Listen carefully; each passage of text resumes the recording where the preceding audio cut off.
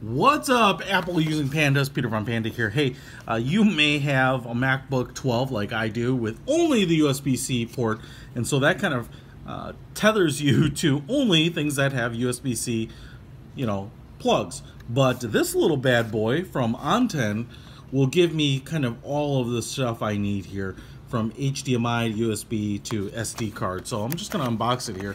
Now, you don't necessarily need to be stuck in the Apple ecosystem like I am to appreciate this. You know, you just might want to uh, make more use out of that USB-C port, uh, plug some things in that you just don't have capacity to.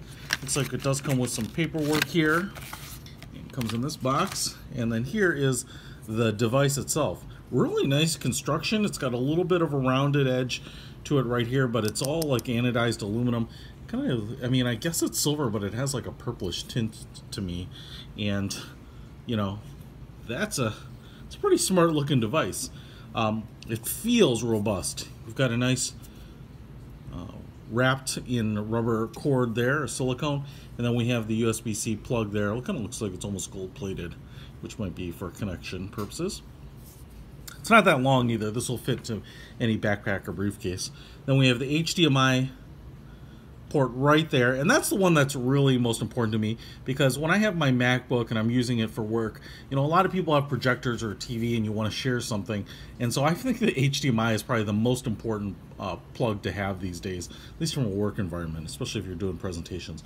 Looks like we have two USB ports right there and then the SD and the micro SD card I believe. So the thing I want to uh, figure out most is can I use this HDMI out and you know carry this thing around with me to make sure I'm universally uh, compatible with all the projection devices out there. Let's give it a try. I've got my MacBook 12 here, and uh, the first test, I will take this flash drive and plug it into this adapter and see if we can detect it. I'm just going to slide it in. And boom, finds the flash drive. All right, test one complete. Now for the bigger test. Uh, can we get the computer mirrored up here on this TV, I went ahead and plugged in an HDMI cable and I'm going to plug it in here and see if we can get it working.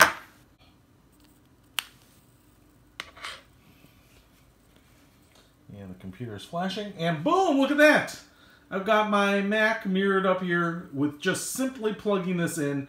So absolutely this uh, this cable to this Onten adapter works not only for HDMI but for flash drives, micro SD. So you can just take this along with you and make your Mac even that much more useful. Or anything with a USB-C uh, type of plug. You can pick this up in the description. I'll put a link to it on Amazon. Peter Von Panda. Out!